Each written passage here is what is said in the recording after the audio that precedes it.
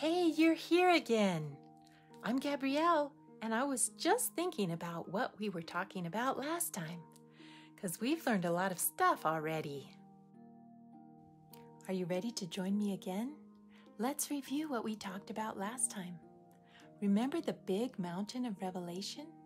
Where Jesus is trying to save all of humanity, but there's a big battle between Christ and Satan. And the end of Revelation tells us how the story ends and that Jesus is coming soon to take all those who believe in him to heaven. You know, the book of Revelation can seem confusing, even to grown ups sometimes. But we're going to go through it together, and you'll see it's not too hard. Jesus is working to save us if we'll only listen. So let's listen to what he has to share with us.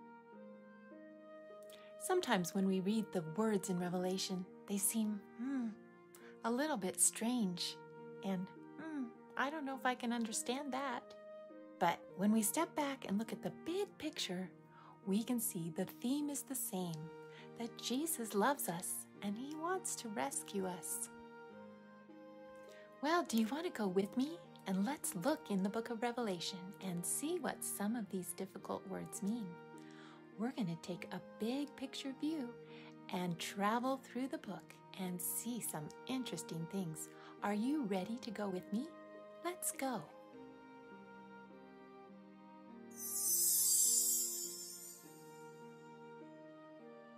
Do you remember who wrote the book of Revelation? Yes, it was John the Apostle. He was told to write down everything that he saw and heard from the angels sent by Jesus. John begins by writing the opening to a letter because he's going to send this message to the churches. And if he wrote it today, it might sound something like this Hi, I'm John, and I just saw some amazing things. God gave a message to Jesus, and Jesus gave it to me to share with you. This stuff is straight from heaven itself, so you'll be really blessed if you read it and listen. This is the same Jesus that died and rose from the dead, went back to heaven, and saves us from our sins. He's coming back soon and wants us all to be ready for that great occasion. In this letter, I'm telling you everything that he showed me. I saw some strange symbols, but they all mean something important, so keep reading. Don't be afraid. Jesus is alive in heaven and has power over death. Stick with him and you'll be fine. Hey, that was great what John saw and that he was sharing it with everyone. But are you a little curious about what some of those things were? I am. So, you want to join me and let's take a peek at some of the things that John saw. One of the things Jesus gave John was some special messages for the seven churches. Seven churches? Hmm, what's that?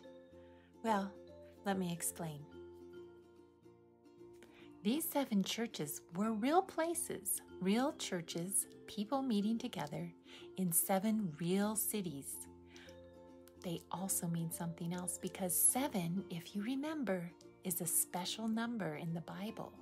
It means completeness. So these messages were not only for those seven churches, they were also for all of God's people all throughout history. And that includes us. Do you wonder what Jesus was telling those seven churches? Well, first, he was letting them know when they were doing things well. And he also gave them some warnings when things weren't going so well.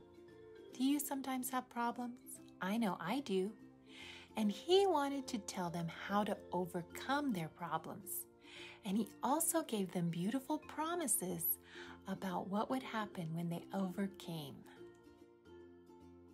The next part of Revelation is about seven seals. Now, this is not the seal that swims in the ocean. No, these are seals that close something up. These were on a scroll so that you couldn't open it. And a scroll is an old time book. They didn't have books like we have. They wrote things down on paper and rolled them up in a scroll. Now, John was very sad because no one could open this scroll. But then he saw that Jesus could open the scroll. So, Jesus is the one that can unfold history and carry out his plan of saving us from sin. As Jesus opened each of the seals on this scroll, it represents the gospel. That means Jesus' love and plan to save us going out to all the world. And it tells about what happens when people either accept Jesus' love or reject it. And this message is for everybody. The messages in these seven seals are really about a call to repent and to be sorry for any bad things we've done and to come to Jesus for forgiveness.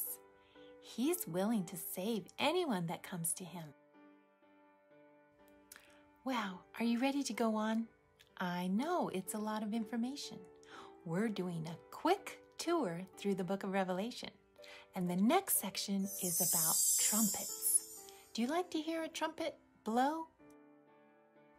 John sees and hears seven angels blowing seven trumpets. Now, in the Bible, trumpets are blown for many reasons. One of them is God hears his people when they call on him, and that's good news.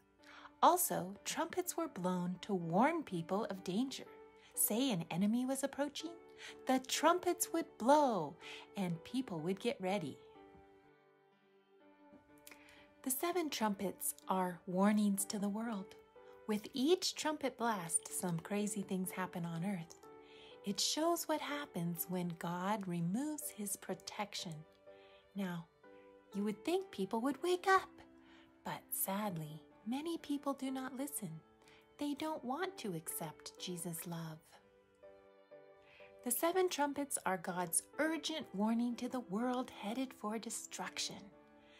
Come on the Lord's side, I will save you. The seventh trumpet is good news for God's people because Jesus is coming soon. But it's not so good news for those who have rejected his love. So the seven trumpets are important warnings for the world. God doesn't want anyone to be lost. He loves everyone. That's why his warnings are loud and powerful. Everyone has a chance to have eternal life and live with him forever if they'll just listen and follow him. We've learned a lot, haven't we? Let's have a little quiz and review what we've learned. I'm curious to see what good answers you have. Are you ready?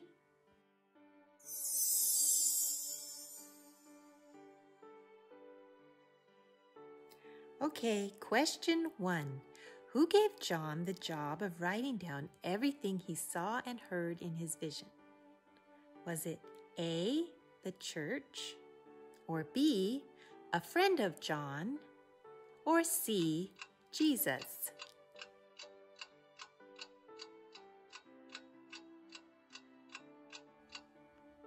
The answer is C, Jesus. Jesus told John to write down everything he saw and heard in his vision. Okay, question two.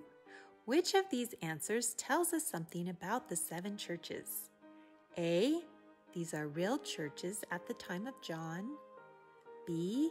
It tells us something about the history of God's people. C. It gives instructions and promises for those who overcome. Or D, all of the above?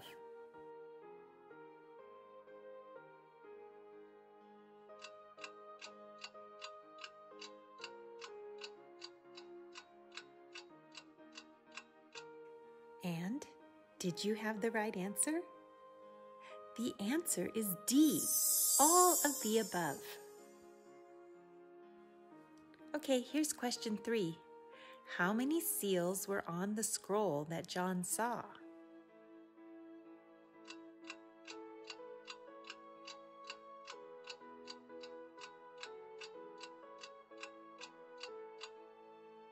Yes, that's right. There were seven seals, and they were all opened one by one. Okay, here's the last question. What musical instruments were used in Revelation to represent the loud warnings God is sending to the world?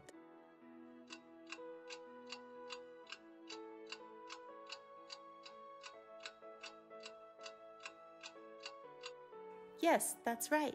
They were trumpets. Do you remember how many trumpets there were? Yes, seven trumpets. Very good.